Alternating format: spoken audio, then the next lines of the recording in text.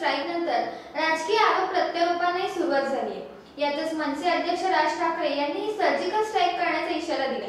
Air स्ट्राईकची पार्श्वभूमी याला असली तरी हा राजकीय सर्जिकल स्ट्राईक नेमका कोणावर आघात होणार याच्यावरून राजकीय वर्तुळात चर्चा रंगली आहे.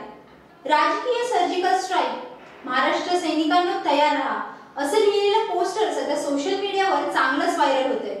नुकतंच भारतीय वायुसेनेने पाकिस्तानातील दहशतवाद्यांवर केलेल्या एअर स्ट्राईकची पार्श्वभूमी याला असली तरी हा राजकीय सर्जिकल आहे. यामुळे नेमका कोणावर आघात होणार याच्या चर्चा सध्या रंगल्या आहेत. येत्या नऊ मार्चला सायंकाळी पाच वाजता वांद्र्यातील रंगशारदा सभागृहात होणाऱ्या सभेत या प्रश्नाचा प्रश्नाचं उत्तर मिळणार आहे. आगामी लोकसभा व विधानसभा निवडणुकीच्या पार्श्वभूमीवर मनसे राष्ट्रवादी सोबत महाआघाडीत येण्याची चर्चा असून राष्ट्रवादीकडून मनसेला हिरवा कंदील मिळाल्याचं म्हटलं जात आहे यातच मुंबईत झालेल्या सभेत काँग्रेस अध्यक्ष राहुल गांधींनी हे- हे महागठबंधन आहे आमच्यासोबत येण्याची ज्यांची इच्छा असेल त्यांच्यासाठी काँग्रेसचे दरवाजे खुले आहेत असं सांगितलं होतं. यामुळेच काँग्रेसच्या महाआघाडीची दारं मनसेसाठी